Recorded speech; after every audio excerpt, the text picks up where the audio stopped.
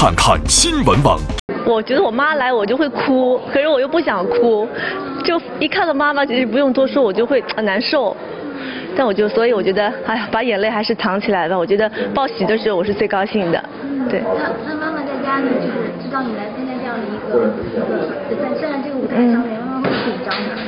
我相信肯定会紧张吧。我觉得她应该比我紧张，因为嗯，其实我大大小小的舞台我都上过，就是嗯这样一个舞台我。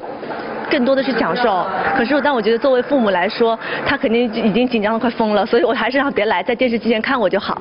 嗯，然后这次刚刚我看你在舞台上表现出的，可能就是呃，让人家感觉会很我看你很开朗。嗯。所以不会想到说唱那样子。嗯，其实我觉得我。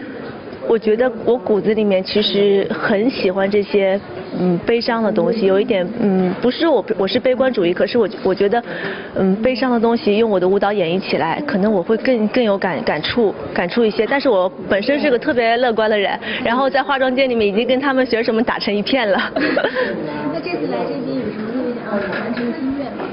其实我今天刚刚在台上，我真的没有机会讲。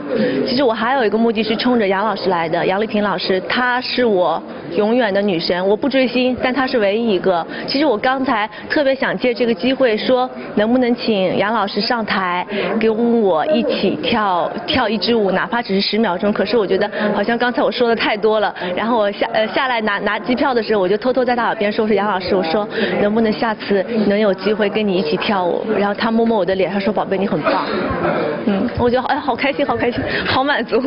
那个瞬间是不是觉得自己都已经就是顺利融入？对，其实我觉得我跳了这么多年，可能就是掌声对于我来说可能已经没有那么多感动，因为我每次演完出我我是主角谢幕的时候都有很多掌声，可是刚刚我觉得。